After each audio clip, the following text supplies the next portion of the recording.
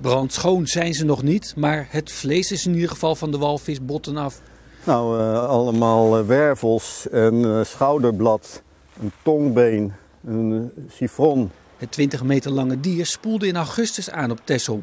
De walvis trok nogal wat bekijks. denk je, dit is best wel raar, maar dan sta je gewoon oog in oog met een vinvis. Ecomare twijfelde geen moment om het skelet van de vinvis in de collectie op te nemen.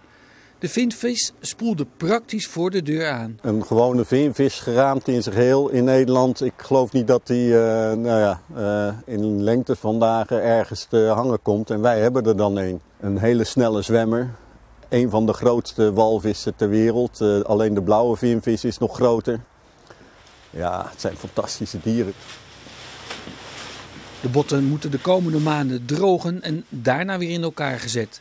Midden in de nacht maak ik me er wel eens zorgen om hoor, maar uh, uh, je kan het haast niet verkeerd doen. Uh, het is net als met een puzzel, al die stukjes lijken op elkaar, maar ze zijn toch net iets verschillend. We willen het zo doen dat je aan het eind ook het verhaal kan zien, dat die aangevaren is. Alle stukken komen wel op de goede plaats, maar het hoeft niet per se dat je elk barstje wegwerkt, zeg maar. Binnen is binnen zou je zeggen, maar de vraag is nu alleen nog waar bij Ecomare het skelet moet komen te hangen. Dat toch mooi.